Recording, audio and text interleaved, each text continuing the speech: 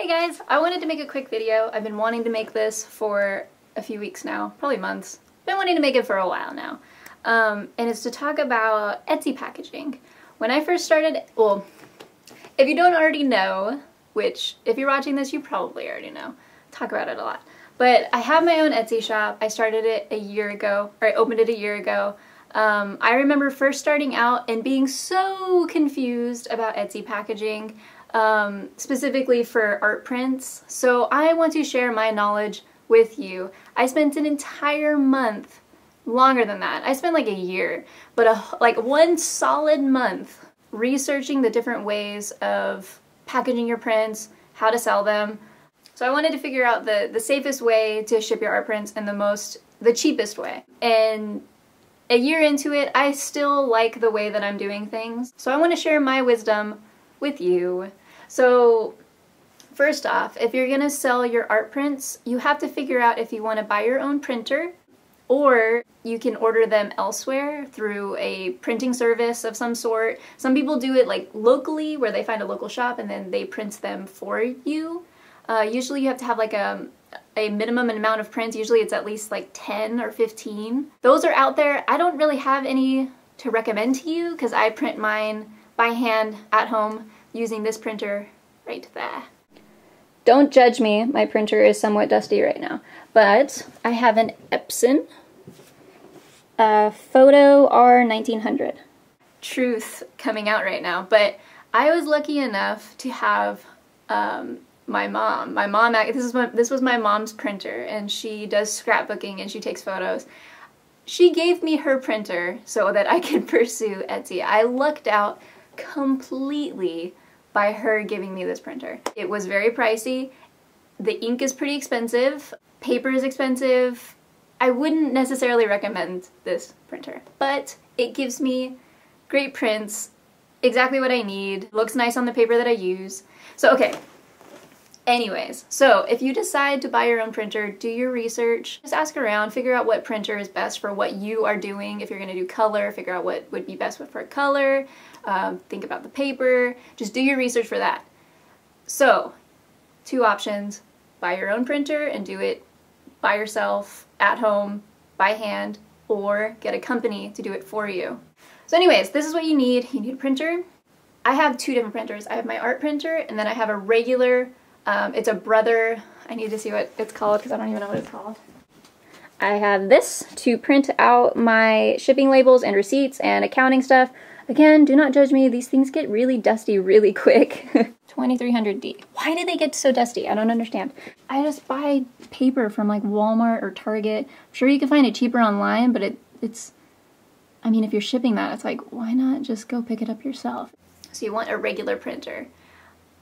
Other people, they'll have like a smaller printer that prints out shipping labels with like the sticky backing and they'll just have that small little printer, but that's only for shipping labels. So you can't really print receipts or anything else on it. That's why I chose to do the regular printer, not the shipping label printer, and then my other printer. This one was not that expensive. I found it on Amazon. It's a solid printer. I wish I freaking purchased this in school because it would have saved me so many trips to the library to print out stuff. And then packaging supplies.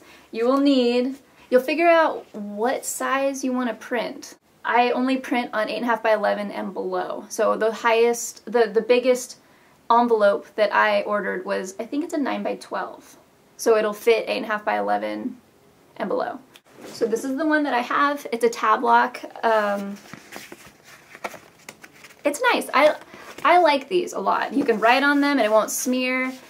I approve of this one. I ordered off Boxery, theboxery.com. When I received mine, it was kind of damaged a little bit and I'm like, I couldn't use like 10 of them. So I'm not a huge fan of the Boxery. The, it's kind of pricey. You have to order in bulk. So actually, I recommend using eBay. You could find the same stuff from the Boxery on eBay for significantly less and it's free shipping. So eBay. That is my secret to success for you guys that I'm sharing with you. It is cheaper on eBay. Just make sure you're you're buying from a seller that has positive feedback. So so along with along with the tab lock if you're going to sell prints, um, get a cor corrugated sheet, cardboard sheet thing and it fits perfectly inside this. So what I do is I'll print out, I'll have, I'll have the print and I'll, um, I'll put the print in, in um, plastic sheets. So that's another thing you need to buy if you're going to do it my way. You'll buy a sheet. These are my large sheets. This is the only one I could find. I sold out of 8.5 by 11. I need to order more. But um, you need plastic sheets to put your artwork in so that they arrive safe and um, if, you know, if it was raining or something, you just want to make sure that it's safe. So I use plastic sheet that fits perfectly over the 8, 8.5 by 11. I'll wrap the print in the plastic sheet and then I'll tape it down onto the corrugated sheet. Some people wrap it with ribbon. You could just do whatever, just, just make sure that the print will stay on the sheet and it won't like move around inside of the envelope because um, then you could you have to worry about like bent, bent corners and all that good stuff. So sheet, envelope, plastic sheet, and then obviously you need to find your, your um, fancy printer paper that you want to use. If you're going to have prints over 8.5 by 11, it's going to be more expensive to ship something that's humongous and flat. So for my larger prints, I use shipping tubes. And I ordered these off the Boxery. They were fine. You might be able to find them cheaper on, e on eBay. Packaging tape. I go through so much packaging tape. To tape on the shipping labels, it gets pricey. Also, find some cute stuff to decorate your, your packages with. It makes it fun to open. I love when I receive something from Etsy and you could tell that the seller puts a lot of effort into it. That's how I am with my shop. I like updating my packaging, um, even like the notes. I, I always put in a, a, handwritten note of some sort. Um, I get excited when I go to Michael's and I find cute stationery supplies or whatever.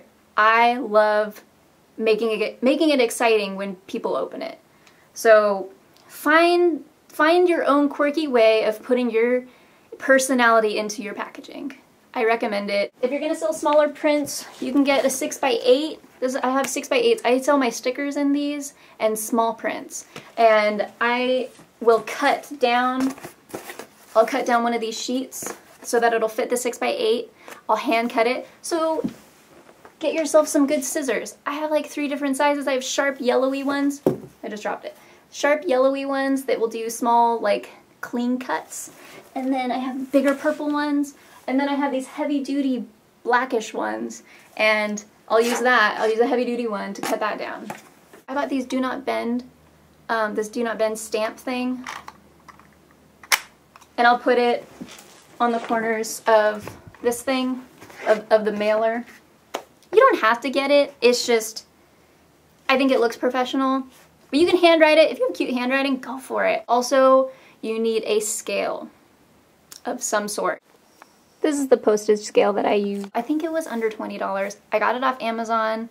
Uh, you have to measure your packages to know how much you're going to charge for the shipping label. Also, you can either choose to use the Etsy shipping labels. It makes they make it really easy to use. You just type in the size of your package, what it is, and it'll automatically calculate it for you or you can do it where you uh, calculate it your own way and then you use the right amount of stamps. I've seen both ways. I have business cards. If you use Vistaprint, it's really cheap. It's like 500 business cards for like $10. They always have deals. They always have sales. Um, throw them in with your package. What else? You're going to want a decent computer.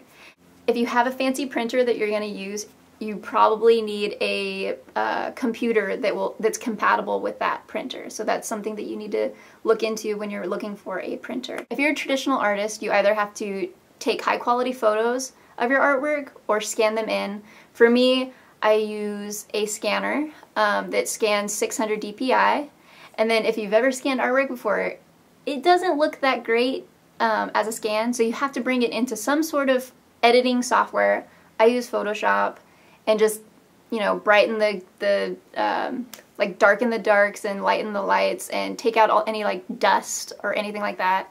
So you'll need some sort of editing software if you're gonna go that route. If you don't have a scanner um, at home, like I do, you could take it to like FedEx or um, some sort like Kinko's, some store like that, and I'm pretty sure that you can get a high quality scan for pretty cheap. I think I did that in college and it they weren't too bad. So that's another option if you don't have a scanner. So I use, my boyfriend actually got this for me for Christmas. Best Christmas gift ever, let me tell you. Um, I use this slicer thingamajig. This thing is a lifesaver. I recommend this if you're going to be hand cutting your prints. So I recommend that. And it's also nice when cutting your shipping labels. You can get a clean cut instead of hand cutting it and it just doesn't look as professional. Um, so there's that. Another thing you need is some way of doing accounting. I use Excel and I found a template for Etsy sellers that I've, just, I've been using the entire time. So I have this, hev this heavy duty um, filing case. I, I started out with this little baby one and then it's getting serious now so I up, upgraded to this big one. So I keep all my receipts from 2015 to 2016. I hear you're supposed to keep it for like at least two years or something. And then I have important documents like my my seller's permit if I sell in person. Um, just be organized. So you need Excel or, or QuickBooks or some way to keep track of finances. It makes it easier when filing taxes comes around, when that time comes around in the year you're organized. You're good to go. I didn't cover sticker packaging or um, pin packaging. If you watch my other videos, you'll see pretty much the process and what you need to do those kinds of things. If you're not finding the answers in this vlog, I'm telling you there is so much out there. The wonderful world of Google will tell you so much about how to be successful on Etsy. So you can do it. Just stay motivated and do research You'll be good. You'll be good to go. so yeah, I hope this I hope this helped a little bit. I hope it didn't scare you too much.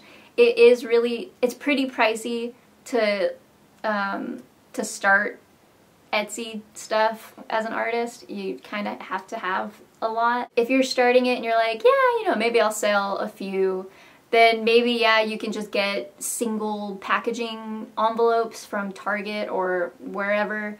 Um, but it gets pricey if you if you sell more than like 30. It's you might as well just buy in bulk and it turns out to be a lot cheaper. So if you're serious about it, I do recommend buying in bulk. Get all your packaging materials. It is a, a little bit of an investment and it's kind of intimidating at first, but it'll if you if you keep at it, it'll pay itself. There's a huge bug on the window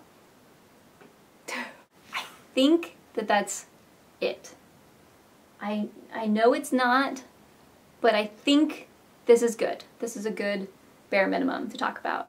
So if you have any questions, message me, comment, anything. Um, I'll leave specifics below with the printers that I use and all that good stuff.